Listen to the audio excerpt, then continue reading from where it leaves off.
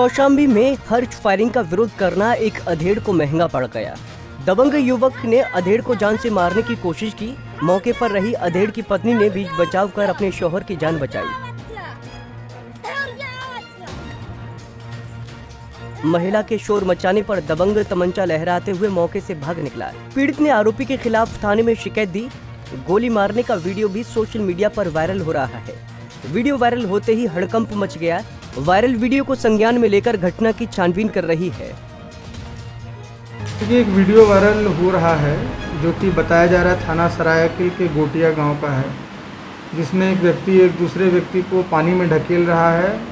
उसकी एक घर में और महिला है, उससे भी उसकी हाथापाई हो रही है और उसके हाथ में भी एक असलाहा दिख रहा है। इस पूरे प्रकरण की जाँच की जा रही है और जाँच के बाद आवश्यक कार्रवाई इसमें की जाएगी। यूपी में हर्ष फायरिंग को लेकर आए दिन पुलिस कार्रवाई करती है। बावजूद इसके, हर्ष फायरिंग रुकने का नाम नहीं ले रही है, जिसके कारण कई लोग अपनी ज़िंदगी से हाथ धो बैठते हैं।